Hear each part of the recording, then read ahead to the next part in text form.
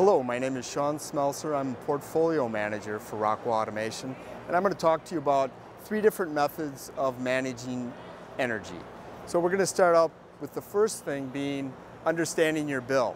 You get a bill from a utility every month. You need to understand what you're getting charged for and how to reduce that. So by installing meters within your facility, you get more granular information to allow you to make better decisions. Next thing we're to talk about is uh, reducing your consumption. So in this case, we've had a full voltage starter, which you can see a very large peak in your consumption of energy because of a starter. If you then go to a VFD control, you can see where it's ramping up slowly and you won't have a peak demand penalty. For the next thing is, is trying to manage your demand by having a full line starter on your on your factory floor where you're starting everything at the same time.